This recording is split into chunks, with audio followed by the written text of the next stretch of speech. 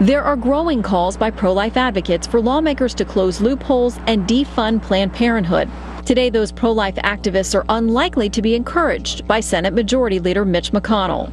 We just don't have the votes to get the outcome that we'd like. The president's made it very clear he's not going to sign any bill that includes defunding of Planned Parenthood. So that's another issue that awaits a new president, hopefully with a different point of view about Planned Parenthood. House Speaker John Boehner has signaled he would prefer to see the results of at least four House committee investigations into Planned Parenthood before scheduling a vote. But other GOP House members say a vote to defund the group could come much sooner.